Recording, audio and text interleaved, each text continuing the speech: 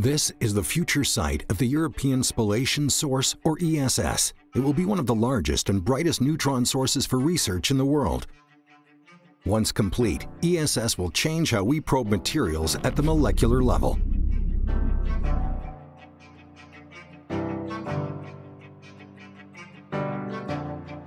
Neutrons by themselves are very interesting probes because they have no electric charge, so they can penetrate deeply into materials and investigate atoms and molecules in a way which is impossible with other sources. The performance of uh, the ESS facility is largely a result of the accelerator that is used, which is one of a kind.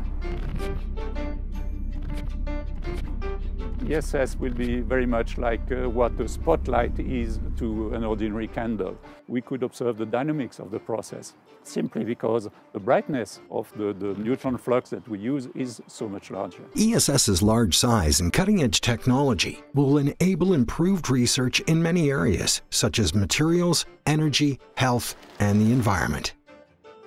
You can understand the intricacy of what happens between atoms or between molecules at the macroscopic level and uh, hopefully come up with better solutions in the future.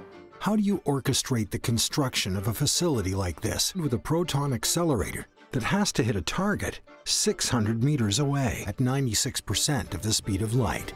ESS is being designed and built by scientists for scientists. One of the challenges is to combine the view of a, of a civil engineering together with a scientist or engineer and integrate this that we meet the, the different requirements and specifications and the, the really high availability goals.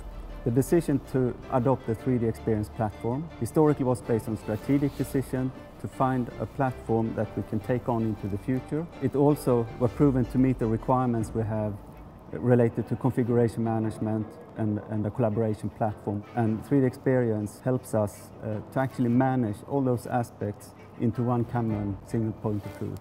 ESS is an excellent example for what uh, Europe can do and uh, should continue to do in the future.